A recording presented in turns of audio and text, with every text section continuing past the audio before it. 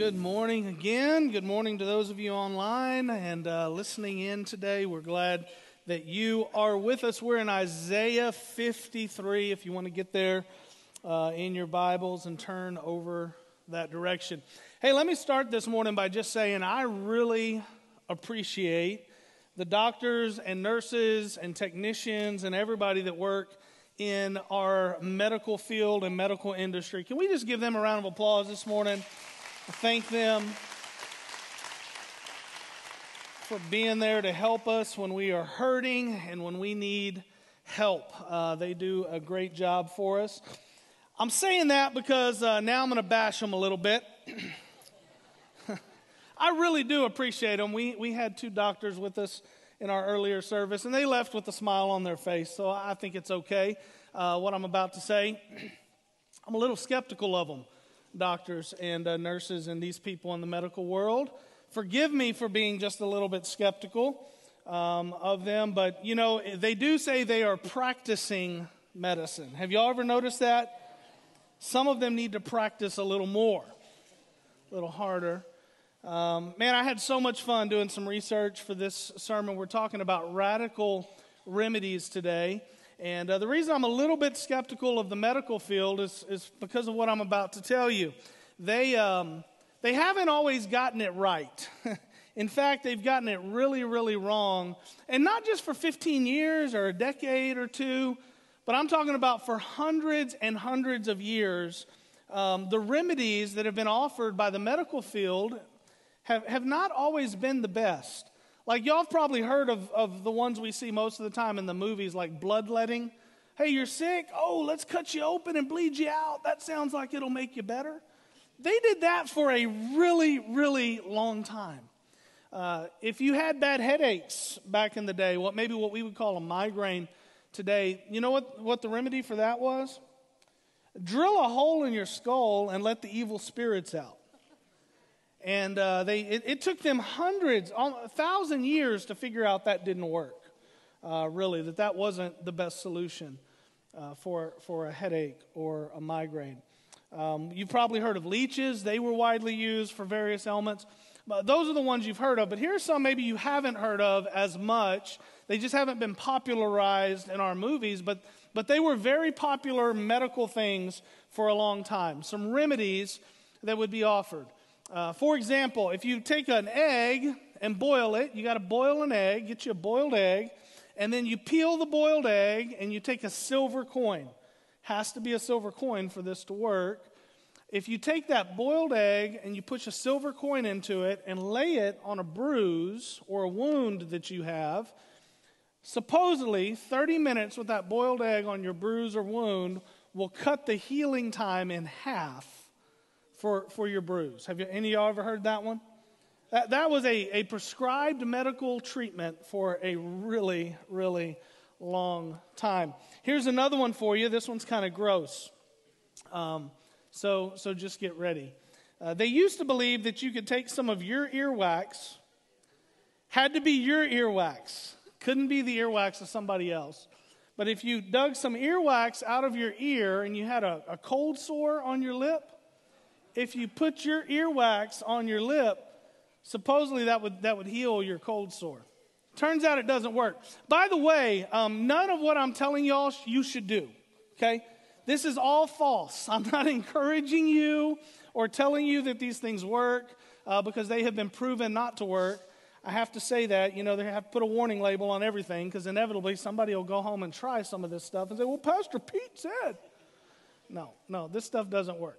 Here's another one for you. This one was, was most popular in England, but uh, it was popular in other places over in Europe as well. How many of you have ever had a sore throat? Anybody ever had a sore throat? Hundreds of years, hundreds of years, the prescribed remedy for a sore throat was to take the dirtiest, nastiest pair of socks you had at your house and wrap them around your throat. And that was supposed to cure you. Now, if you had a really bad case of sore throat, or if you wanted it to just get better even quicker, supposedly you can make a hot tea with your dirty socks and drink it, and it would heal, heal your throat. Many tribes down in the Amazon uh, believe that licking frogs heals you of various things. Um, that's, that's been something people, people have tried. Uh, here's another one for you. This is 18th, 19th century stuff, guys. I mean, we're not talking Stone Age stuff. Uh, 18th and 19th century, do you know what the most common cure for asthma was? You're having a hard time breathing? It would only make sense um, to go smoke some tobacco, right? That was the most common cure for asthma in the 18th and 19th century. It only took doctors about 250 years to figure out that that, that wasn't really helping people and didn't actually, actually work. How many of you know what mercury is? Mercury. Have you ever thought, you know, if I want to get better, I think I'll rub a little mercury on it? Probably not. But for a really, really long time, mercury was a widely used and prescribed product to get people better. It was used as a rub, uh, it was inhaled, it was ingested for all kinds of, of various problems. With the invention of electricity came some doctors who said, you know what, we can fix it by shocking it out of you. And uh, they used electric shock for a whole ton of things. And did you know, as late as the 18th century, I realize none of y'all were around then, but as late as the 18th century, again, we're not talking Stone Age stuff, we're talking 18th century here. Do you know that the main treatment or prescribed thing to do when somebody drowned in a body of water, like a river or a lake, they went and they drowned. Do you know what they said you could do to bring them back? A smoke enema. A smoke enema. Johnny drowns in the, the water. Light a fire, honey. You're going to blow some smoke in there and it's going to wake him up. Well, I guess if anything was going to wake him up, that would be it. But couldn't find any instance anywhere.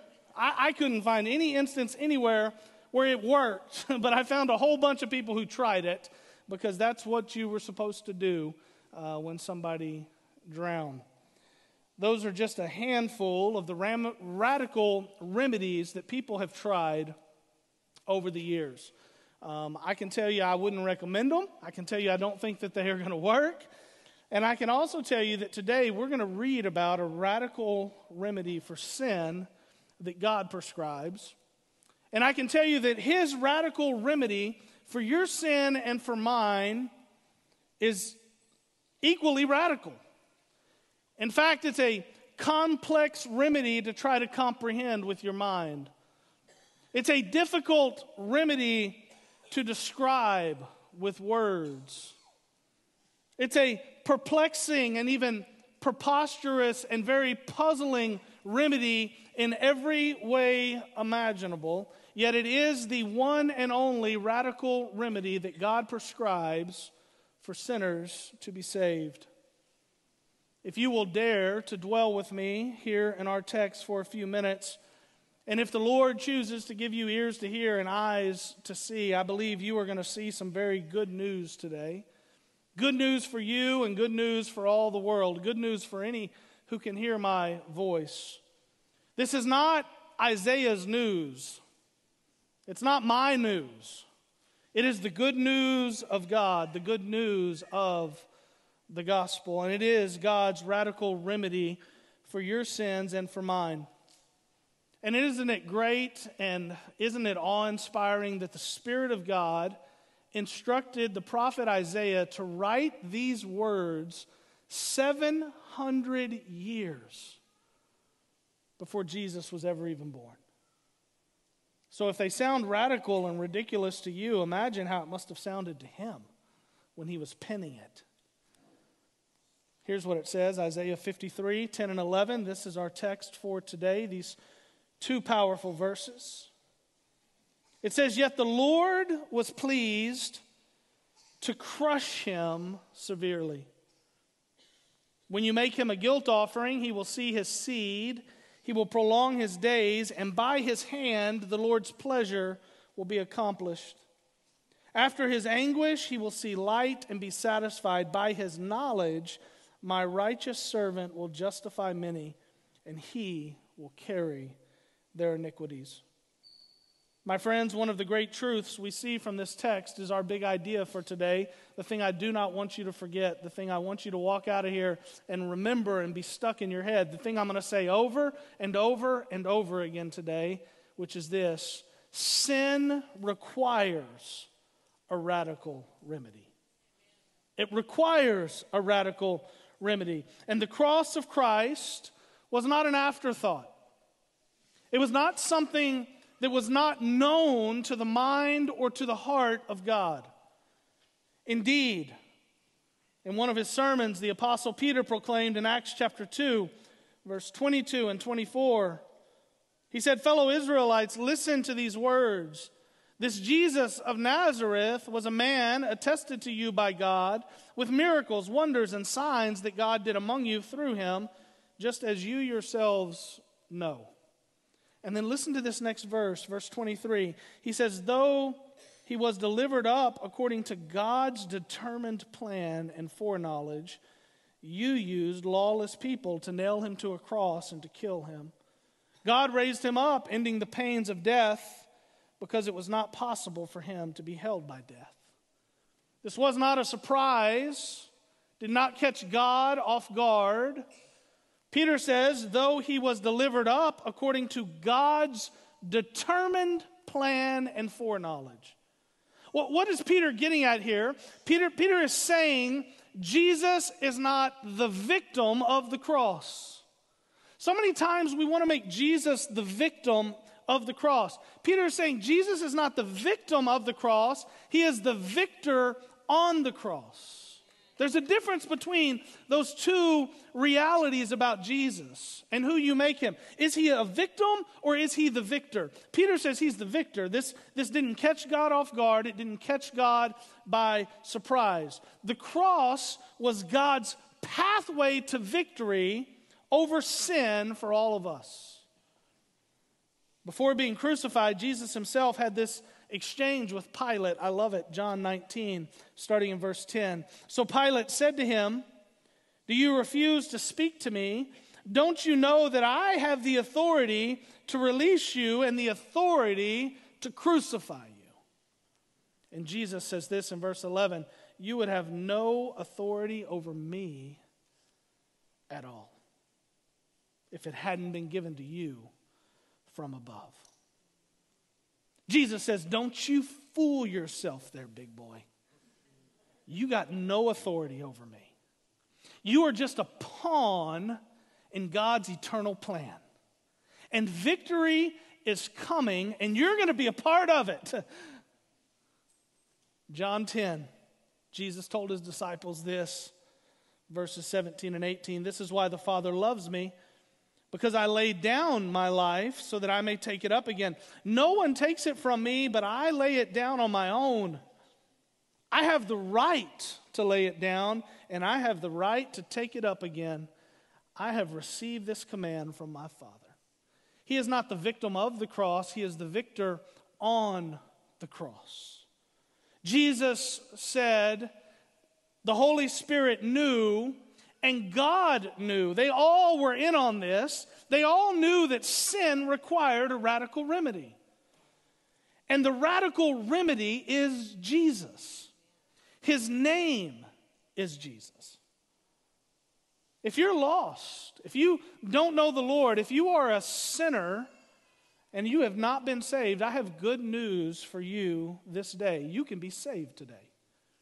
You can walk out of here transformed and change because the remedy that you're looking for, and the only remedy that will work for your life or anybody else's when it comes to sin, is Jesus. The remedy you're searching for is Him.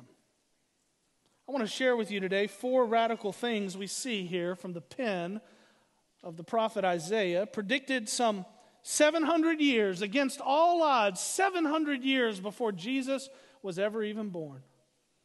The first radical thing we see is radical resolve. The radical resolve of God. Resolve is the firm determination to do something, to get something done. It's the spirit that says, against all odds, I'm going to do this, whatever this might be. Have you ever had to have some resolve in life? How many of you have ever had to have some kind of, of resolve? Anybody? Okay, good. Those of you who didn't raise your hand, you're either sleeping or lazy. I don't know. I would suspect we've all had to have some resolve at some point in life. Maybe it was back when you were younger and you were athletic. Looking at y'all, you ain't athletic no more. But I know when you were younger, you probably were. And maybe you can remember that time when your team was down and the clock was running out. And you came together as a team and you said, you know what? We're going to win this game. We're going to all work together. We're going to fight through the pain. We're going to push past it. We're going to do whatever we have to do to win this game. And your resolve was all in. You were there and you were ready to win that game. Maybe it was some point in your career, your working years, that you had to have the resolve to save your business, to save your ranch, to save your farm. And you just had to bear down and you had to make some hard decisions and some difficult choices in order to make sure it survived. Maybe it was your marriage. Maybe you're in the middle of that right now and you've just had to say, you know what, listen, we're going to come together and we're going to do this. We're going to make this work. We're going to work this out. We're going to compromise. We're going to push past our pride. We're going to forgive each other for past mistakes, whatever the case may be. But whatever happens, we're staying in this together because we said, till death do us part, and we're going to have the resolve to make that work. Maybe you said, Hey, I'm going to read the Bible every day this year. And then the devil started throwing temptation in front of you, and other things started coming up and getting in the way, and you had to have the resolve to say, I'm going to do that.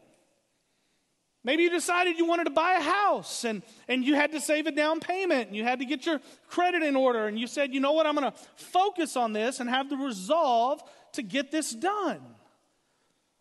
Maybe, maybe you're like Abby and I, and you woke up one day a couple years after being married and said, Whoa, we're in a lot of debt. and we don't like that. We're going to pay that off. We're going to get out of debt. And then you have the resolve to over the course of months, or in our case, years, pay that down and work at it and do what had to be done and be disciplined enough to make it happen.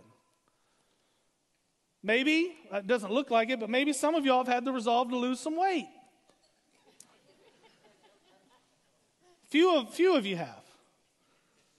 Maybe it was to get the promotion. There's a, there's a lot of things. My, my point is this there's a lot of things in life that take resolve. There's a lot of things in life you cannot do without having resolve. And I'm certain that at some point in your life, you've had to make up your mind that no matter what, you were going to accomplish this thing, this goal. You were going to do this thing that you felt like was a purpose for your life. And if you have had to have some resolve, then you know something of the focus, the pain, the sacrifice and the overall hardship that comes with setting and reaching great goals or a great purpose. You know something of what it takes to day after day, sometimes moment by moment, have the resolve to press on. Now, can you imagine the radical resolve necessary to sacrifice your own child for the sake of others? sin requires a radical remedy. Hebrews 9 tells us that blood is required. Hebrews 9:22 according to the law almost everything is purified with blood and without the shedding of blood there is no forgiveness. A sinless lamb was needed. A pure undefiled sacrifice was required pure, sinless, undefiled blood was required to pay the debt for your sins and mine. A radical remedy was necessary. And this is why Isaiah says this in verse 10 Yet the Lord was pleased to crush him severely. Oh, the resolve of God, the love of God, the determination of God to save your soul. It was so strong and so resolute that the Lord was pleased to crush him severely. My friends, Judas may have betrayed him. False witnesses may have been the ones to accuse him. Herod might have been the one who ultimately convicted him. The chief priests and the Jews are the ones who condemned him to death. The crowd, yeah, they're the ones who said, Crucify him, crucify him, crucify him. I know it was the soldiers who mocked him and beat him and drove the nails into his flesh. I get it. But it was God who crushed him with the weight of sin. Your sins and mine. Romans 5 8 through 10. But God, proves his own love for us in that while we were still sinners, Christ died for us. He crushed him. How much more then, since we have now been justified by his blood, it's the only way to be justified, how much more then will we be saved through him from wrath? For if while we were enemies, we were reconciled to God through the death of his son, then how much more, having been reconciled, will we be saved by his life? This radical resolve reminds us that sin requires a radical remedy, and his name is Jesus. There's also a radical result, seven of them actually, radical results that we see here in this text. As I mentioned at the beginning, Jesus was not a victim of the cross, he was victorious on the cross. There's a difference between the two. And here in verses 10 and 11, we see no fewer than seven radical results from the crushing of our sinless lamb. All seven come about, all seven undeniably happened, but for the sake of time today, we will not have time to discuss all seven. I'm going to talk about two in the midst of this point. We'll cover two in our next point as well along the way. And the others, I believe, are so obvious and so common sense, they're very easy to understand and see. See if you can see the seven results here in Isaiah 53 10 and 11 as I read it to you one more time. Yet the Lord was pleased to crush him severely. When you make him a guilt offering, he will see his seed, he will prolong his days, and by his hand the Lord's pleasure will be accomplished. After his anguish, he will see light and be satisfied. By his knowledge, my righteous servant will justify many, and he will carry their iniquities. Isaiah was given the eyes to see and the ears to hear seven of the wonderful results of the cross of Christ, more than 700 years before Jesus was born, against all odds. And against all odds, all seven of these things happen. They come about, they're proven true. He will see his seed. He will prolong his days. The Lord's pleasure will be accomplished. He will see light. He will be satisfied. He will justify many, and he will carry their iniquities. Any one of these things would be a radical result. Amen? Any one of these things would be a big deal, but there is no way all seven of these things happen. It's impossible for all seven of these things to happen through the life of one person without God. We simply don't have time today to look at each of these, but let's consider the second and the third one here for a moment. He will prolong his days, and the Lord's pleasure will be accomplished. So, unlike the readers of Isaiah's day, we know how the story ends. We know that after the death of Christ, after being sealed in a tomb, after being resurrected from the grave, after three days, we know that Jesus later ascends into heaven. We know the result. We know he's alive. We know that God prolonged his days. We know that's been accomplished. Amen? We know that he is alive. And more specifically, we know that he is eternal. We know what Jesus was getting at in places like John chapter 8, verse 58, where Jesus said to them, Truly I tell you, before Abraham was, I am. He was saying, I've always been, and I will always be. We have a better context for that than certainly Isaiah did, or even the disciples did when Jesus said it. We know that the apostle Paul was right in Colossians 1:17 when he said, "He is before all things, and by him all things hold together." He's eternal. We believe the testimony of the beloved apostle John, who actually saw Jesus in heaven and who was physically touched by Jesus post resurrection. Revelation 1 17, 18, he reports, When I saw him, I fell at his feet like a dead man and he laid his right hand on me and said, Don't be afraid. I am the first and the last and the living one. I was dead, but look, I am alive forever and ever, and I hold the keys of death and hell. Thus, we know and we believe that God indeed prolonged the days of his Son because he conquered the grave and was victorious on the cross, not a victim of it. Furthermore, we know that he's coming back for us. We know that he's gone to prepare a place in heaven for us. We know that he's the Alpha and the Omega. We know that he's the King of Kings and the Lord of Lords. And we also know that God was pleased with him. We know that he prolonged his days, but we also know that God was pleased with him. We have a testimony of it in Scripture. At the beginning of Jesus' ministry, he goes to be baptized by John. And the Gospels record it this way. Here's Mark's account and version. We'll just read his for the sake of time. Mark chapter 1, verse 10.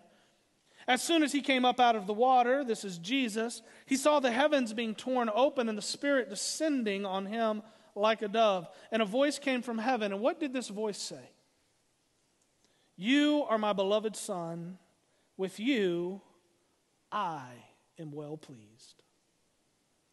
At the transfiguration of Christ, the disciples hear God say something very similar all over again. Matthew 17, verses 5 and 6. While he was still speaking, suddenly a bright cloud covered them, and a voice from the cloud said, This is my beloved Son, with whom I am well pleased. And then God says, Listen to him. Pay attention to what he's saying.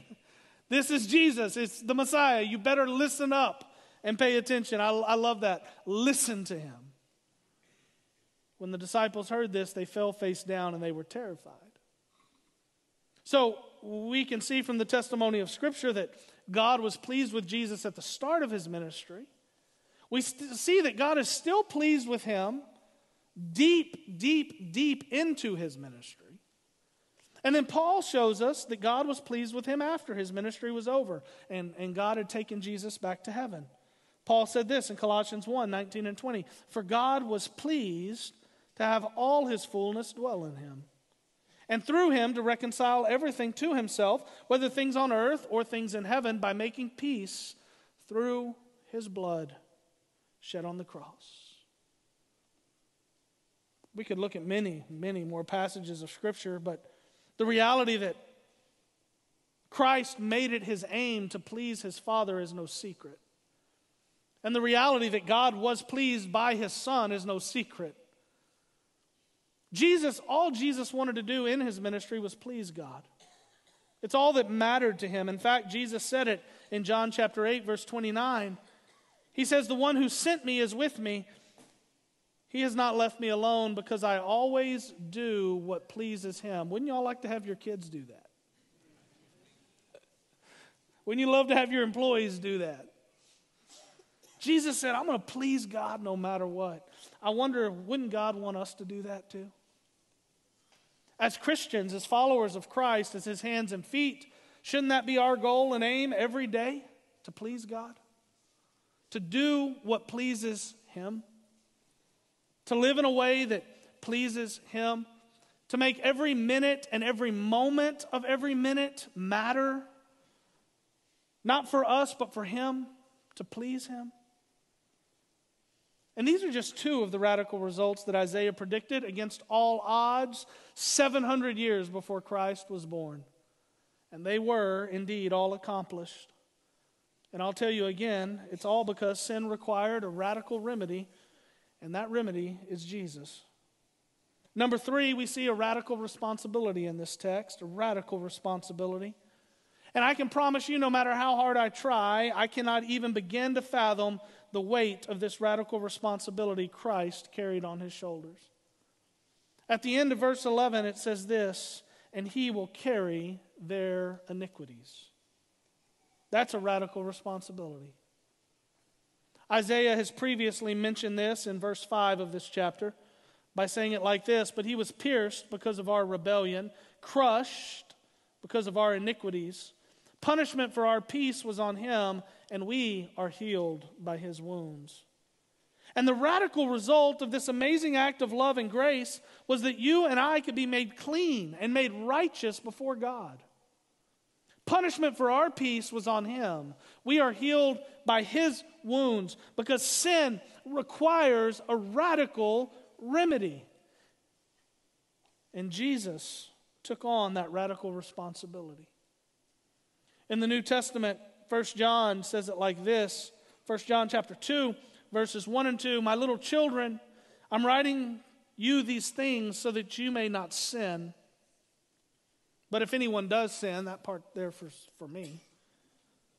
But if anyone does sin, what does he say? He says, We have an advocate with the Father. Amen. We have an advocate with the Father, Jesus Christ, the righteous one, the pure one, the sinless one, the Son of God Himself. He goes on to say, He Himself is the atoning sacrifice for our sins. Sin requires a radical remedy. His name is Jesus. He himself is the atoning sacrifice for our sins. And not only for ours, but also for those of the whole world. The cross was God's radical plan and provision for the entire world. Peter declares in 1 Peter 2 24 and 25, He himself bore our sins in his body on the tree so that having died to sins, we might live for righteousness. By his wounds you have been healed, for you were like sheep going astray, but you have now returned to the shepherd and overseer of your souls. I wish we had the time to look at this even more, but I really just want you to understand this one major truth today sin requires a radical remedy. God's radical resolve and his radical results and Jesus taking this radical responsibility all lead us to this radical remedy, which is our final point for today. The radical remedy for sin, the radical remedy of God. If you're looking for a remedy for your sin, I'll tell you today there is only one. You don't have options, you just have one. There are not multiple ways to be saved. There are not multiple ways to be forgiven. There are not multiple ways to get into heaven. There's just one. One radical remedy. One that will work. One that is true. And his name is Jesus. Acts chapter 4, verse 12 there is salvation in no one else for there is no other name under heaven given to people by which we must be saved. Jesus is his name. 1 Timothy 2 5 and 6 For there is one God and one mediator between God and mankind, the man Christ Jesus. Jesus is his name. He gave himself as a ransom for all, a testimony at the proper time. Jesus himself testifies to it in places like John 14. Verse 6 Jesus told him, I am the way, the truth, and the life. And catch this last part Jesus says, No one comes to the Father except through me. Sin requires a radical remedy, and his name is Jesus. He's the way, he's the truth, he's the life, and he is the absolute single and only way you will ever get to the Father and to heaven. You know, there are some out there who don't believe Isaiah chapter 53 is even about Jesus at all. Some think that the prophet was talking about the nation of Israel in this chapter. Others believe that Isaiah was talking about himself, that Isaiah is building himself up here in this chapter as this suffering servant for God. To be honest with you, I don't know how they can get to these conclusions. I've read all of their conclusions, and to me, it's just preposterous. There's no way Isaiah can meet all of this stuff. There's certainly no way the nation of Israel meets the qualifications of who the servant in chapter 53 of Isaiah is. But honestly, I cannot wrap my head around anybody with, with any kind of theological sense or spiritual understanding of the Word of God could ever come to this conclusion if for no other reason because of what it says in Acts chapter 8. Jump with me, if you will, to Acts chapter 8. I want to read to you a somewhat long portion of Scripture here, verses 29 through 35, because it lays it all to rest. This is indeed about Jesus. Your sin and mine requires a radical remedy, and Jesus is his name, and Isaiah saw it and heard it and penned it 700 years against all odds before he was ever even born. In Acts chapter 8, we find a familiar passage of Scripture, a familiar story. It begins like this in verse 29 The Spirit told Philip, Go and join that chariot. And when Philip ran up to it, can I pause there for a moment for a brief side note? God, the Spirit, tells Philip to go and join the chariot. And did you notice what it said Philip did? He ran up to it. He didn't think about it, he didn't pray about it. He didn't ask what the result was going to be whenever he got up there. He didn't, he didn't beg God to tell him everything he was supposed to say. It just says God told him to do it, the Spirit told him to do it, and he went and did it. Church, when God tells you to do something, you go do it. You run up to it, you embrace it. You don't have to ponder it. You don't have to think about it. You don't have to wonder if you're supposed to do it. If God told you to do it, you go do it. So he goes and does it. And then he hears this man in the chariot who he doesn't know. He hears him reading, guess where? The prophet Isaiah. And he said, Do, do you understand what you're reading, Mr. Man in your chariot here? And the man says, How can I? unless someone guides me. So he invited Philip to come up and sit with him. And now the scripture passage he was reading was this, and you tell me if it sounds familiar. It should. It's from Isaiah 53. He was led like a sheep to the slaughter, and a lamb is silent before his shearer, so he does not open his mouth. In his humiliation, justice was denied him. Who will describe his generation? For his life is taken from the earth. The eunuch then said to Philip, I ask you, who is the prophet saying this about? Himself or someone else? Is this about Isaiah? He was a little confused about it too. Is this about the nation of Israel? Is this, is this about Isaiah or is this about someone else? And I want you to see verse 35. Philip proceeded to tell him the good news about Jesus, beginning with that scripture. He didn't tell him the good news about Isaiah. He didn't tell him the good news about Israel. He told him the good news about Jesus, beginning with that scripture, because that's what this scripture is about. Philip told him the good news about Jesus because this man, just like every man I can see and every man or woman who can hear my voice right now, this man right here needed a radical remedy for his sin, and Philip knew Jesus was the only one who was up to the task. Jesus is the only radical remedy for his sins and for yours. You see, sin requires a radical remedy and his name is Jesus. And if you haven't taken it already, if you haven't believed and confessed, if you haven't repented of your sins and given your life to Jesus, I told you at the beginning of this hour you would have a chance to do so before we close. You don't have to leave the same way you came. And I got good news for you. This remedy right here, it doesn't involve drinking tea made out of your nasty socks you're wearing on your feet. You don't have to lick a frog.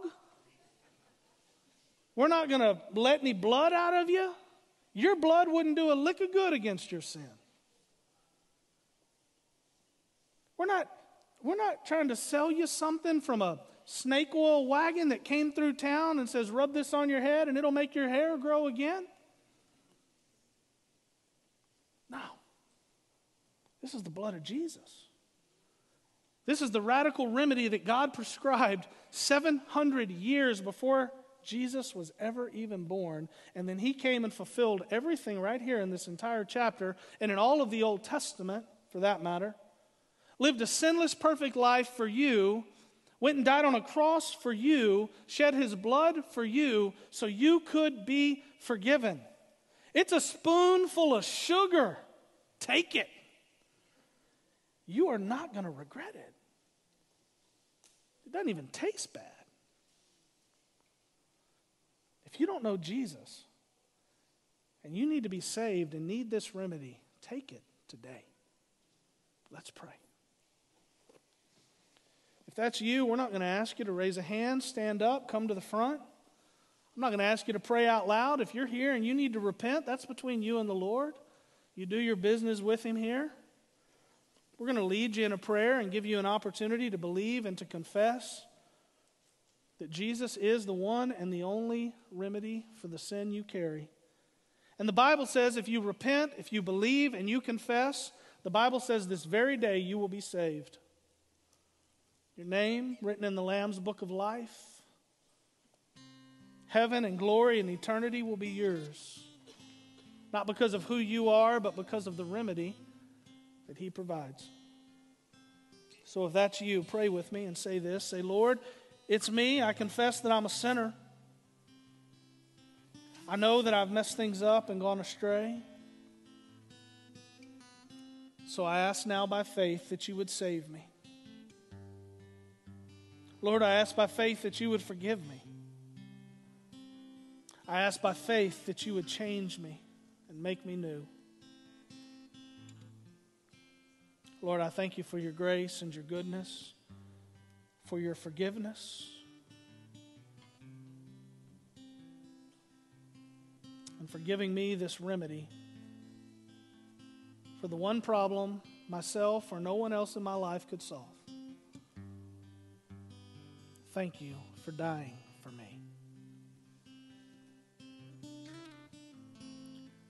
Lord, as we close today, I thank you for these who've gathered here to worship you. I thank you for those who already know the reality of the remedy we have spoken of today. And I thank you equally for those who have just come to the cross this hour and claim the victory that you bought for them there the victory over death, the victory over sin, the victory over pride and selfishness, conceit. Lord, the victory over any trial or temptation that can face them or come their way. Lord, we thank you for those who claimed it today for the very first time, and we pray, Lord, that you would move and walk with them as they walk with you. We love you and we thank you for sending us this great remedy for our great problem. We thank you for Jesus. And it's in his precious and holy name we pray. Amen.